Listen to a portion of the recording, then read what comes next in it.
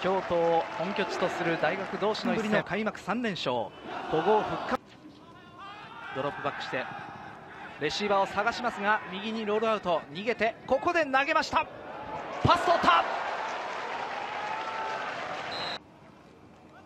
今度もパスプレーできました。ここから走る。85番の上田。サイド。ここもパスターゲットを探しますが自ら持って。まだ行く。そのまま行くか。タッチダウン。クォーターバック泉がそのまま持ち込んでの先制タッチダウンです。ドロップバックしてレシーバー通りました。パスは成功。なんでくる？タッチダウン。42番永田のタッチダウンが生まれました。第2クォーター開始。パスできました。パス通った。13番の高野にしっかりとパスが。赤尾が動いて今度はハンドオフ竹内抜けてきた。ファーストダウンを獲得し。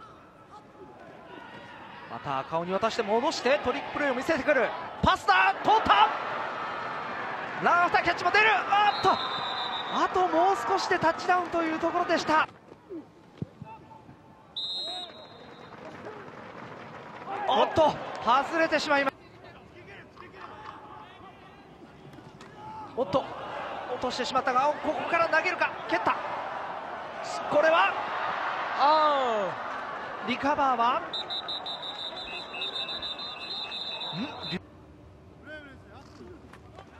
ドロップバックしてパスを投げてくる。タッチダウン。8番の杉浦。ドロップバックしてレシーバーを探す。空いていた。81番の阿部。ここからのランも出ます。ラン2キャッチ見事でしたね。さあ新たなファーストダウン。さあ今度は右通った。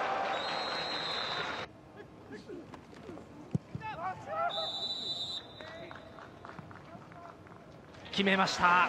22ヤードぐらいあったでしょうか。フィールドゴールを決めて3点追加。京都大学です。おっとスペシャルプレーだ。ギャンブルできたどうか？取りましたね。取りましたね。ファーストダウン獲得。1人モーションで右に移動。そして中央赤尾です。赤尾です。ファーストダウン獲得。いいスピードでしたね。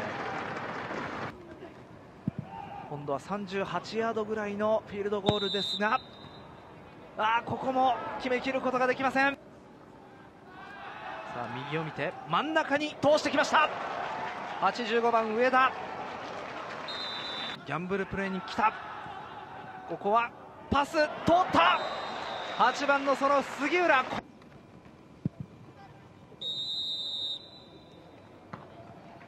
決めました。後半に入って2本目のフィールドゴール成功。第4クォーターにゼロとなりまして試合終了です。